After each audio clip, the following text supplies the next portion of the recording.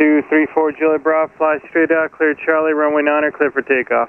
Clear for takeoff, straight out, runway 9er. Sorry about that earlier. Uh, 234 Juliet Bravo. No problem. What's the first thing you want to make sure you have plenty of when you are doing a long trip over the water? Yes, fuel. Whether over the water or over land, this is a perfect example of why you want to plan out your cross country trips down to the last detail, whether you are going across the state or are going out of the country.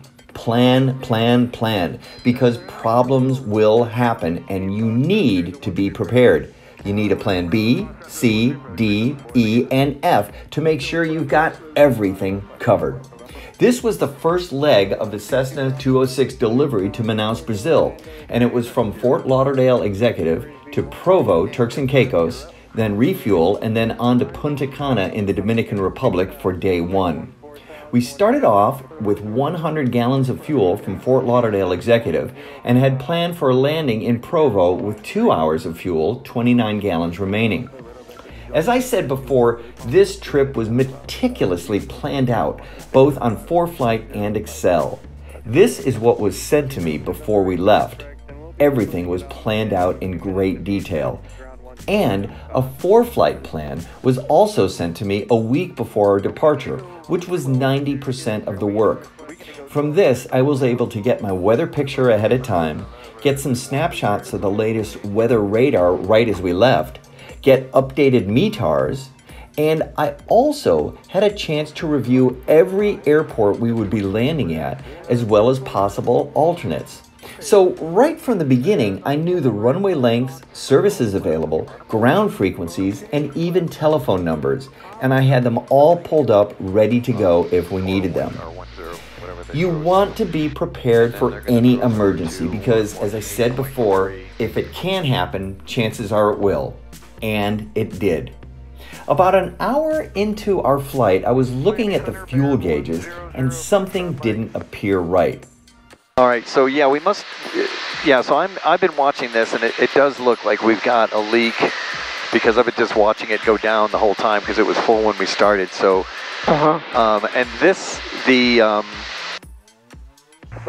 this section of the EDM just runs off a computer. It doesn't run off yeah, of the gauges. I know.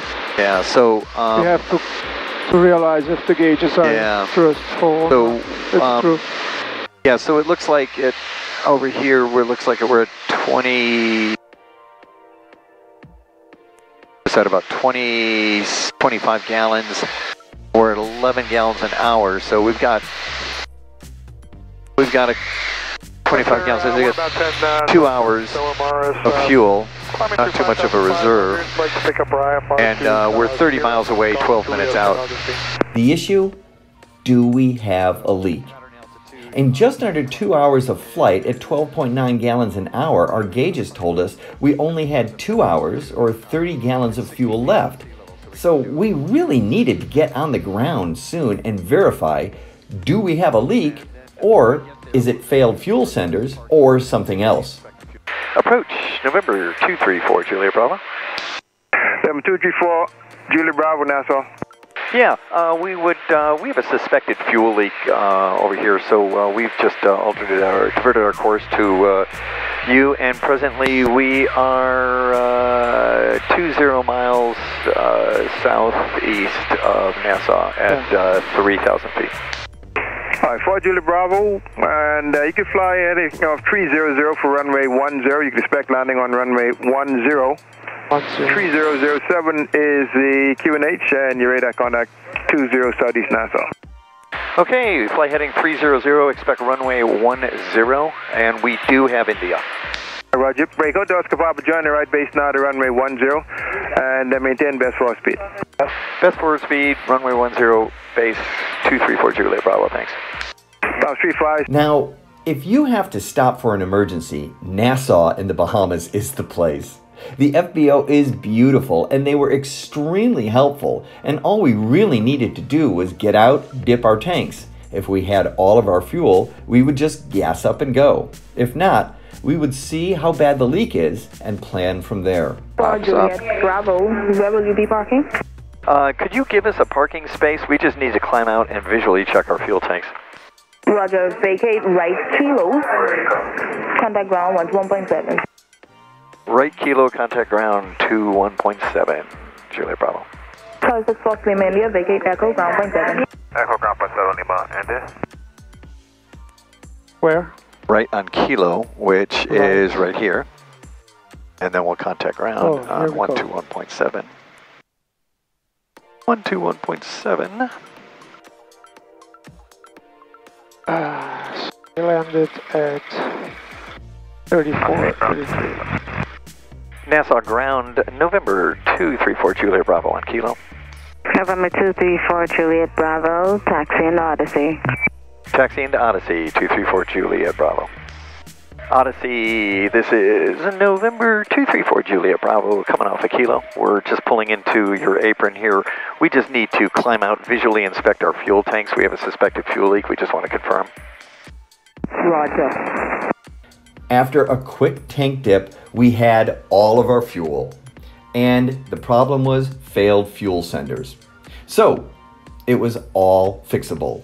A bonus bathroom stop, and we were off. November 3 234 Juliet Bravo, runway 14.